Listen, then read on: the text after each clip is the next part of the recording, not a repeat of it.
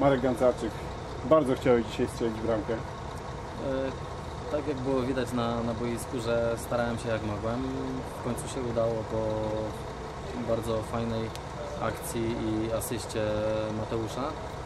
Udało się skończyć i cieszę się z tego, bo to jest dopiero moja druga bramka dla obu. Mhm, ale bardzo wartościowa.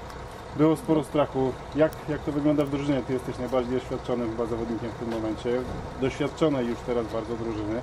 Ale czy był ten moment, że poczuliście obawę o wynik?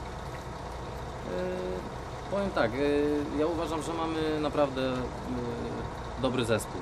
Zespół. Nie, nie mówię tutaj o indywidualnościach, a, a to jest gra zespołowa i, i wygrywa zespół. Także cieszą nas trzy punkty. Obaw może jako takich nie było, bo e, wiedzieliśmy co, co, co chcieliśmy grać. E, udało się na początku strzelić bram, bramkę.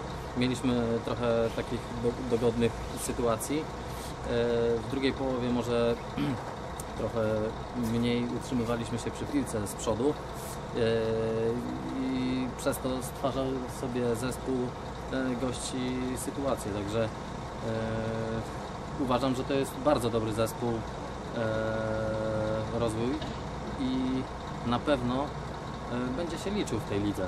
Będzie odbierał punkty e, zespołom, które walczą e, o awans. Powiem szczerze, że my na trybunach już trochę drżyliśmy o ten wynik, ale pięknie postawiliśmy kropkę na dni.